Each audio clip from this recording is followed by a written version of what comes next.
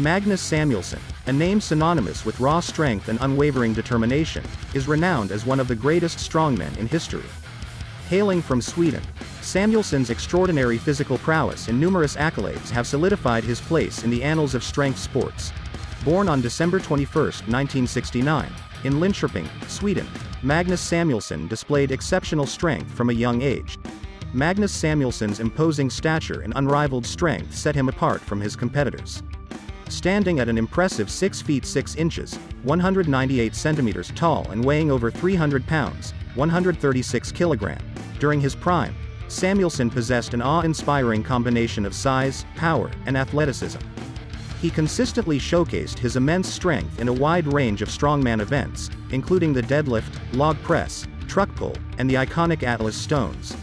Magnus Samuelsson's strongman career is adorned with a plethora of achievements and accolades. In 1998, he achieved his crowning glory by winning the prestigious World's Strongest Man competition, becoming the first Swede to claim the coveted title. Samuelsson's success extended beyond this pinnacle victory, as he consistently placed among the top contenders in various international competitions, solidifying his reputation as a true force to be reckoned with. Magnus Samuelsson's strongman career is adorned with a plethora of achievements and accolades.